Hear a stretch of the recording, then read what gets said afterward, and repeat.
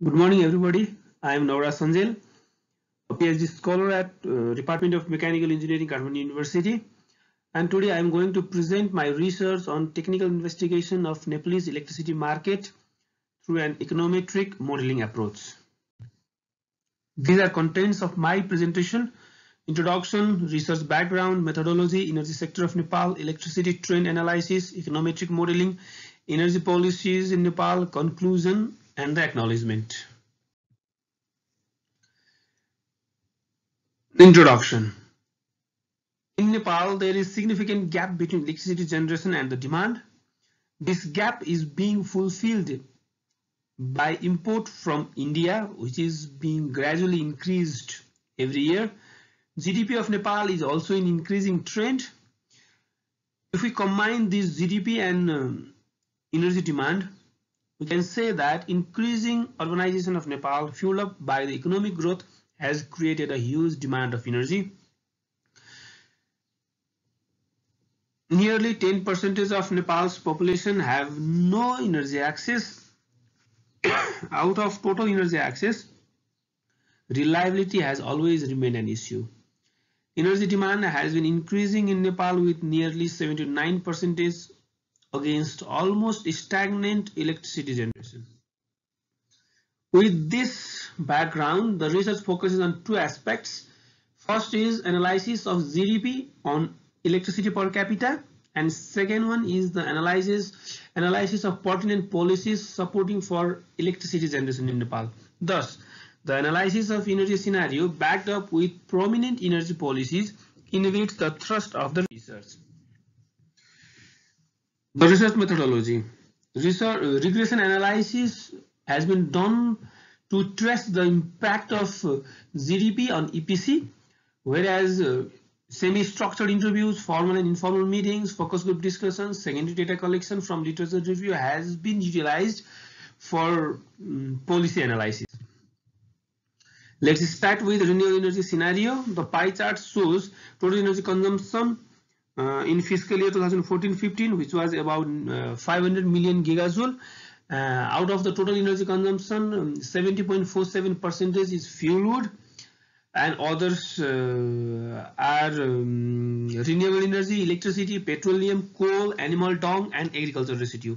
We have tried to analyze uh, energy consumption shift pattern from 2016-17 to 2017-18 mm, traditional uh, fuel has been shifted uh, from 74.5 percentage to 68.9 percentage in um, from 1617 to 1718 whereas its impact has been traced in commercial uh, uh, fuel which has been shifted from 22 percentage to 27.9 percentage thus traditional fuel types which has have remained dominant but is slightly being transferred to commercial one such energy consumption practices is increasing Nepalese dependency over commercial fuel type or import.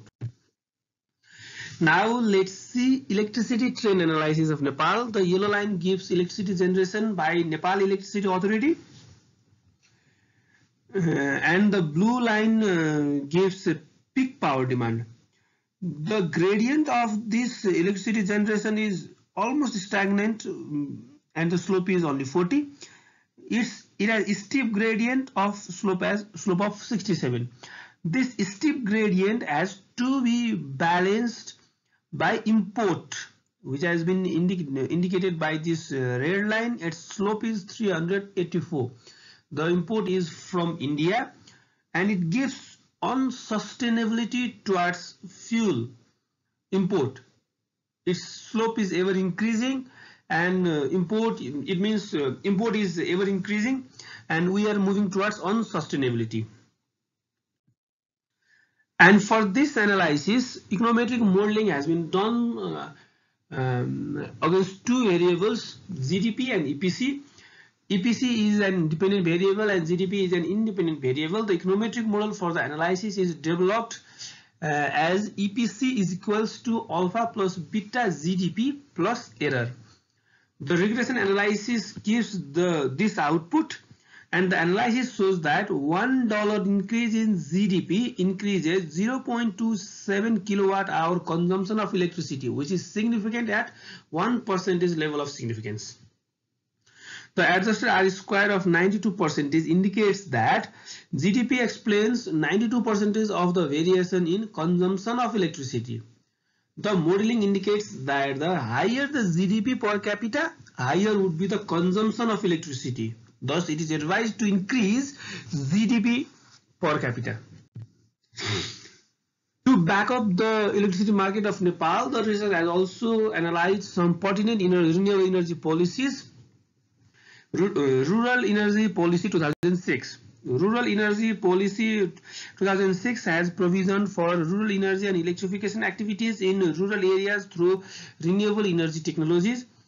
Uh, biomass Energy Strategy 2017 promotes sustainable supply of biomass energy available from animal waste, human excreta, fuel wood, agricultural residue, trees, forest residue, including any biodegradable matters, and to improve the efficient use of such biomass energy.